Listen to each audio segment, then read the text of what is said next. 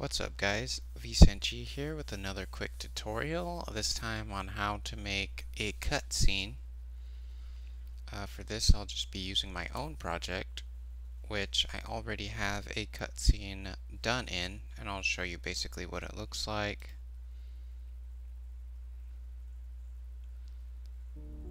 So the player falls down, he turns back and talks, and then you get control. So basically how I accomplish this is you're going to want,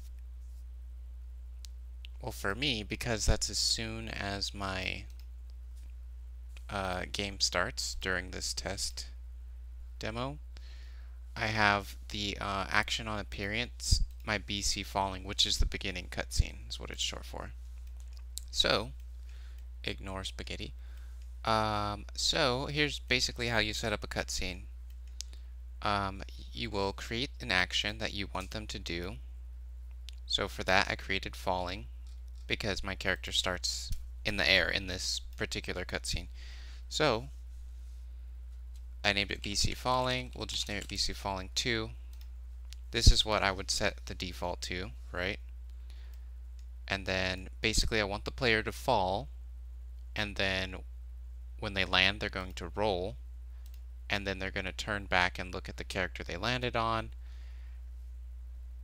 and say a message, and then it's going to go to idle so that the player can get control. And then you can add one of these boxes by uh, adding a group box, and then you can add actions here, as you can see. So, that's pretty much all you have to do. Now, you're going to need different actions when you want the animation to change, is basically how I did it. So I have the falling animation. So while the character's falling, um, ignore move input and direction change because this is a cutscene. The character cannot be controlled by the player. Uh, so I have it wait a certain amount of time, and then I have it execute my test dummy's death. So the NPC you land on is actually just a dummy that only dies, basically. Um, and then it goes to the next one when it touches the ground, is basically what I have here. So when it touches the ground, it's going to execute the roll. So I have it go to a new motion because we need it to do, to do the animation of rolling. And then uh, in the roll, again, no movement or direction change. And then I have it do the roll. This is the same thing I have in my actual roll, um, except this one I just remade it because again we don't want the player to have control so we can't go to this roll. And then after uh, motion plays to end, because this is just an animation that I need it to do, once the animation is done we can go to the next phase which is looking back and saying the message. Again, no move input, no direction change. Um, here we have display direction because we want it to turn left because uh, that's where the body is. So I have display direction equal to 70. Wait a quarter of a second. Show text. What a landing. Then, uh, basically, I have this input. After certain time passes, one second, and you push any of these buttons, you go to idle. So basically what this means is after one second and any button is pushed, the text will go away and the player will have control because idle is the normal state, right?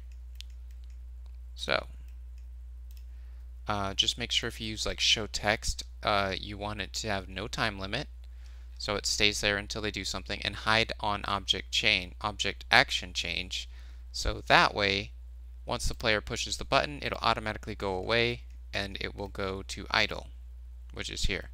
And this is a shortcut. You just right click, um, create shortcuts, and then that way you can uh, just put this in there.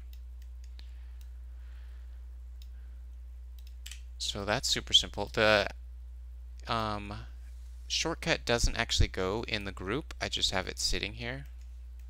Um, so that's basically how you do a cutscene. You have to basically make actions that uh, control the character for them. Um, and then again, each animation has to be separate. But let's say you were having the player like, I don't know, walk back and forth or something, then you could uh, do this slightly differently. Or if the player is just talking, you could just do a bunch of show text with waits or after um, if you need like button presses then each one would have to be a separate action because you have to have a link that says when you push a button. Um, and then the only other difference for other people if you're making a cutscene is um, obviously this one is called by default because this is my default action in the scene. But if you wanted to call a cutscene, uh, you would simply have to do something like, um, like for my attack, it's a button press, right? And then you would just do a execute object action,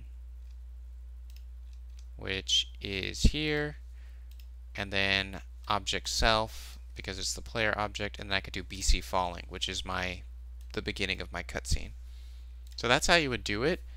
Um, it's best to do it in the player object, in my opinion, because that's probably what you're going to be moving for the most part. But you can also cut it up into different objects. So if you have a NPC object that is going to be doing stuff, you can just use execute um, object action like I did here and just have it do uh, actions. So depending on what you're moving, it could be better to have here or there, but I like it in the player because it will stop the player from moving, which is what we want because it's a cutscene. So you don't want the player walking around in the background while you have stuff going on, right? So if you have it in the player object, you can ignore move input and direction change and have all your other actions branch off from here. So if I had a second cutscene, all I would need to do, I would make a new group box, call it cutscene 2, and then we could add actions to this one. So, and then this one I would call just like execute object action. Say when you talk to an NPC in that NPC object, when the player talks to them, which I've covered in a different uh, tutorial, you could execute object action, have it call whatever the first action here in cutscene 2 is, and then it would, you know, be like dominoes. From there, it would control the player, it would do all the things. So that's the easiest way to do a cutscene. The most annoying part you're going to run into when doing cutscenes is making sure everything, one, is timed correctly, and two moves and animates correctly because you have to manually do it obviously. You can't I mean you could make animations uh, in the animations tab. You could go to your player and you could make this long animation and have it you know do everything here and just do a, a motion like this and just have it do you know the animation of the cutscene, depending what the cutscene is. So like if you have, um, say you have the player jumping up and down, and then they fall down. Instead of having multiple motions, you could have one big long animation that does that, and then you just play the animation and then wait X time, or um, like this one, if motion animation plays to end, you could do stuff like that. So you don't have to manually use stuff like move towards if you want to do it that way. But I already have all these actions in the game, so it just it's so much easier for me to just copy and paste that instead of actually doing a full-on animation here, you know. So depending on what you're doing, you would do it like this, or you could do it via animations as long as it's something like in your game, then it should be fairly easy because your player most likely won't be doing anything that they can't do outside of the game. Um, so That's pretty much how I would do it. Um, I mean, it's kind of vague, but I mean, it pretty much covers how to do it. You just need to make actions that do the animation you want and stop the player from controlling it. It basically boils down to that. Um, so if you have any questions, just let me know, leave a comment. I will help you, and uh, thanks for watching. Leave a like if this helped you. Leave a dislike if you're heartless. And that's going to do it. See you guys next time.